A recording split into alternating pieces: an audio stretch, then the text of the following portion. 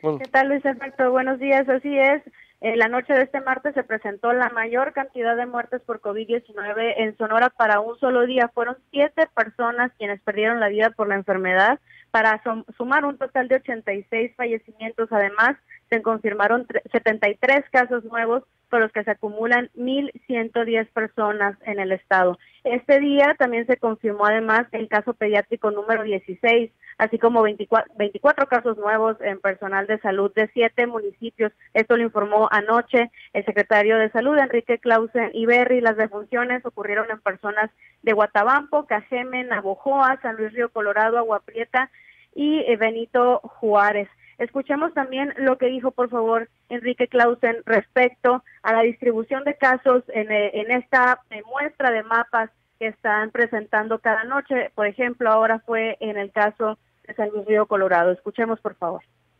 En el caso del mapa de San Luis Río Colorado, el círculo rojo, que seguramente en tu pantalla aparecerá de color rosa, representa un contagio el círculo violeta de 2 a 3 contagios, el círculo verde 4 contagios, el círculo azul 5 contagios, el círculo morado de 7 a 8 contagios. Y el círculo azul rey 10 contagios.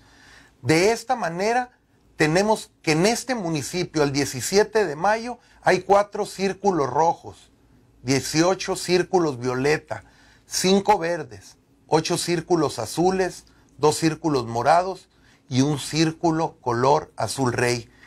En San Luis Río Colorado predominan los espacios de dos a tres contagios en un radio de un kilómetro, algo muy similar a lo que viste ayer con el municipio de Hermosillo. Pero, a diferencia de Hermosillo, en este mapa de San Luis Río Colorado, los espacios de uno y de cuatro contagios son menores y los espacios de cinco contagios son más que los de nuestra ciudad capital. Es decir, que de seguir esta tendencia en este municipio, irán desapareciendo los círculos de un solo contagio y seguirán aumentando los espacios de cinco o más contagios. El esparcimiento del virus será exponencial.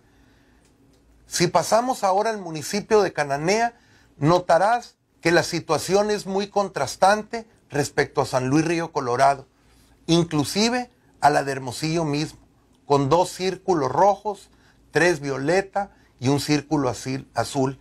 Sin embargo, es muy importante que la población de este mineral no baje la guardia porque de lo contrario, los círculos pueden cambiar de color, lo que significa que se multiplican los racimos de contagio.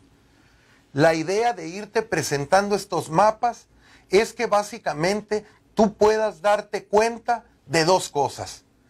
La primera, la evidente propagación comunitaria del virus, es decir, la transmisión de los contagios es meramente local, lo que significa que si en estos momentos de mayor transmisión del virus sales a la calle, es altamente probable que te contagies.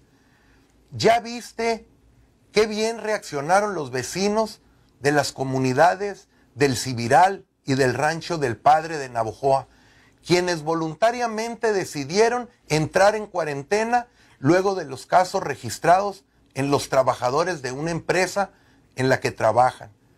Y la segunda cosa que, que debe llamarte la atención de estos mapas, y tal vez la más importante, es la facilidad con la que los círculos pueden cambiar de color.